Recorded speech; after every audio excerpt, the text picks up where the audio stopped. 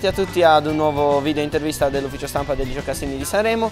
Io sono Tommy, lei è Sara Brusco e siamo qui con degli ospiti d'eccezione, siccome abbiamo qui dei testimoni di giustizia, anche se Rocco dice che non gli piace la parola. Allora, innanzitutto chiediamo a Rocco qual è la parola che preferisce con cui essere definito. Eh beh, dico che non mi piace testimone di giustizia perché è una cosa che dovremmo fare tutti, denunciare le, i soprusi e le ingiustizie, quindi io mi sento semplicemente un cittadino responsabile, magari testimone sì, ma della mia esistenza. Ecco. Allora, eh, innanzitutto c'è da fare una premessa che noi siamo qui, eh, abbiamo appena presenziato all'incontro di Libera in vista del presidio del 21 marzo, eh, in cui tutti gli anni si ricordano le vittime di mafia e eh, abbiamo approfondito e abbiamo avuto la testimonianza da parte di eh, Giovanni e Francesca Gabriele e eh, di Rocco Mangiardi, scusate. E, ehm, allora, innanzitutto vorremmo cominciare con una domanda che vi fa Sara. Sì, innanzitutto vi vorrei chiedere se voi siete stati consapevoli prima di quello che vi è accaduto del fatto che la mafia aveva un grande potere nel vostro territorio? Eh, noi la mafia ce mm, l'avvertiamo, l'abbiamo avvertita perché anche io nel mio magazzino, quando nella mia attività, non è che non sapevo chi erano quelle persone che stavano orbitando intorno alla mia azienda perché si conoscono, i mafiosi si conoscono. Fatto sta che noi eh, lì li conosciamo adesso i mafiosi e quindi ci sappiamo anche difendere denunciandoli, eccetera, eccetera. I problemi purtroppo sono, restano per voi, per le vostre città, per le vostre province, perché voi eh, purtroppo per l'informazione o quant'altro pensate ancora che i mafiosi li vedreste in giro con, con la coppola e col, e col fucile in spalla, invece non è così, loro adesso stanno corrompendo, stanno investendo, stanno facendo economia, ma non la fanno tanto da noi questa, eh, questi investimenti, non li fanno da noi ma li fanno da voi perché noi là li segnaliamo, qui non li conosce nessuno, quindi voi dovete imparare a conoscere le mafie economiche. Um, a proposito, tu hai detto che voi li segnalate là e quindi là è un problema palese, mentre qui è più nascosta la mafia. A tal proposito io vorrei chiederti, alla vostra età, ah, cioè alla nostra età, quando voi avevate la nostra età, eravate quasi sui 17-18 anni, sentivate la mafia? Come la percepivate?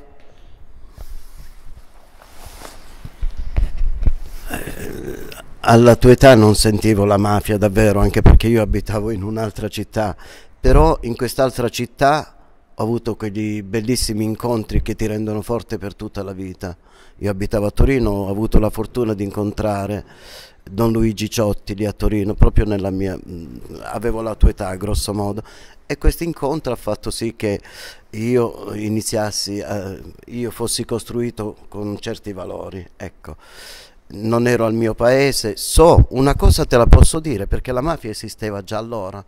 Io mh, mm, e la mia famiglia, mio padre, ci ha dovuto portare in un altro al nord perché non eh, dando consenso al sindaco e a politici di turno, mio padre in quel periodo non trovava nemmeno la, la farina di che sfamarci.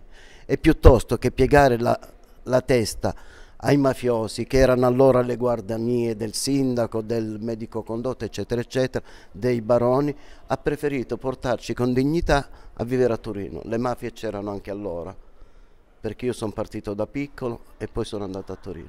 Giovanni, tu hai detto che lo Stato c'è se noi cittadini ci siamo, ma quando tu vedi o senti dalle notizie che ci sono delle, delle istituzioni colluse con la criminalità, ecco, che cosa pensi? E ehm, ritorno su quella parola delle mele marce. Sì. Eh, perché le mele marce ci suonano, non è che ci possiamo nasconderci. Eh, però, come ho detto e lo ripeto, lo Stato c'è quando ci siamo noi. Non c'è lo Stato, se non ci siamo noi non ci può essere. Perché loro fanno il suo dovere. Non dobbiamo fare un tutto. C'è quella parte buona dello Stato che fa il suo, però ci, de ci deve essere la parte buona che deve fare pure il suo cittadino la parte giusta perché lo Stato ci dà delle risposte se ognuno di noi facciamo la nostra parte. Allora, eh, abbiamo omesso di presentarla, ma è qui con noi anche eh, Maura Orengo, che è la referente provinciale per la provincia di Imperia di Libera. E a tal proposito io chiedo, siccome eh, Rocco è un imprenditore che si è rifiutato di pagare il pizzo, e Giovanni e Francesca sono dei genitori di una vittima di mafia, fra l'altro una vittima accidentale, non era la vittima designata, che è un dolore forse ancora più grande. Libera, come come interagisce con queste persone? Qual è il suo scopo e cosa vuole fare? L'obiettivo finale? L'obiettivo finale è realizzare la giustizia, la libertà e i diritti di tutti. Quindi quello è l'obiettivo finale e ce l'abbiamo tutti ben presente.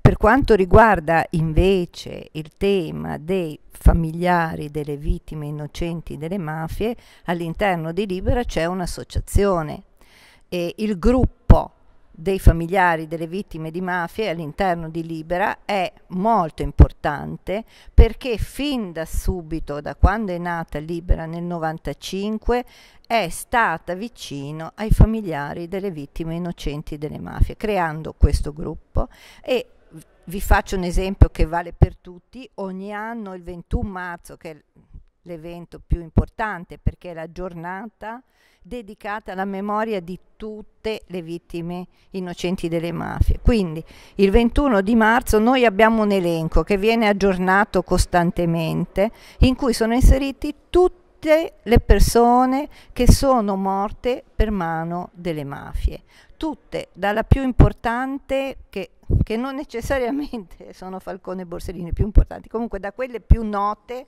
a quelle meno note, ma sono tutte importanti per noi. Questo i familiari delle vittime di mafia lo sanno bene. Lo sanno che noi con questo, adesso è uscito anche un libro che si intitola Vivi, dove sono raccontate le storie di tutte le vittime delle mafie. E poi stimoliamo tutti i presidi che nascono in Italia ad avere un nome di vittima di mafia meno noto, quindi di non assumere sempre noi il gruppo Falcone Borsellino, il gruppo Falcone, il gruppo Borsellino, il gruppo dalla Chiesa, ma di fare in modo che tutti quanti possano avere dei presidi intitolati a loro, perché così in quel presidio la persona morta per mano della mafia continua a vivere. Eh? Quindi anche se voi deciderete un giorno di dar vita a un presidio, io vi chiederò di scegliere una delle vittime meno conosciute. Eh? Per esempio, ieri è nato il presidio a Ventimiglia. A Ventimiglia eh, sapete tutti quanti che c'è il problema dei migranti, tutti quanti ne siamo consapevoli della gravità del fenomeno e delle gravi condizioni in cui versano queste persone, del rischio costante che corrono in quella situazione. Allora a Ventimiglia è nato il presidio ed è stato intitolato a Iso Telarai, non l'avete mai sentito. Iso Telarai era un migrante che lavorava per i caporali in Puglia e che è stato ammazzato di botte eh, dai caporali in Puglia. Quindi a Ventimiglia abbiamo scelto il nome di un migrante sconosciuto proprio perché questo presidio abbia sempre presente sia il tema delle vittime di mafia meno note, quindi, ma a maggior ragione di un ignoto tra i più ignoti, che era un migrante, come sono ignote tutte quelle persone che passano di là, che non si fanno riconoscere, che non vengono riconosciute, che però corrono il rischio della vita perché sono vittime anche loro dei gravi problemi del nostro mondo. Va bene? Grazie mille, sì. Eh, io invece voglio stimolare a voi ragazze di poter mettere un nome sul registro. Le vittime sono tante innocenti, teniamole vive. Scriviamole nelle scuole di tutta Italia e ogni mattina le teniamo vive. Grazie. Grazie, ci proveremo. Francesca, Dodò aveva una, una grande ambizione a scuola, era molto bravo. Che cosa diresti ai ragazzi che oggi non vogliono studiare e piuttosto che studiare vanno in giro a non far nulla o si drogano? Tutto parte la base è la famiglia. Se Dodò ha avuto una mamma che l'ha seguito in tutto e per tutto, se magari lui aveva tutto ottimo a scuola, eccellente proprio nelle letture, insomma amava leggere, era proprio lui appassionato. Però io a volte gli dicevo basta anche un minimo però devi studiare. Io non pretendo 10, però al- almeno che tu a scuola qualcosa la fai, no? E non far nulla non porta a niente perché poi nel passare degli anni poi dici ah se ci avevo pensato prima. Quindi ci vuole qualcuno che gli stimola questi giovani. Se non hanno una buone basi come famiglia magari mh, eh, ci sono gli assistenti sociali come stanno facendo a Reggio Calabria. Magari le mamme se non riescono a, mh, a dargli una buona educazione oppure sono che ne so, ci sono tanti casi di rivolgersi magari a qualcuno che gli dia una mano, però non lasciamoli soli questi giovani oppure quel ragazzo che là dentro diceva che sono nulla facenti.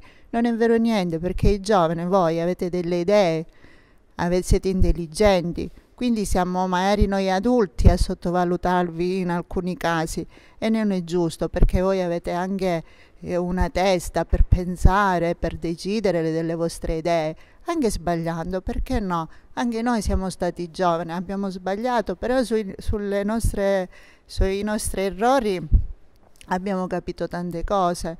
E così io dico, mi rivolgo alle mamme, ai, ai papà, state vicini ai vostri figli, non buttateli lì davanti a un computer o a un tablet. Parlare molto, discutere con i figli perché si sentono soli e questo devono capire. I ragazzi oggi sono soli.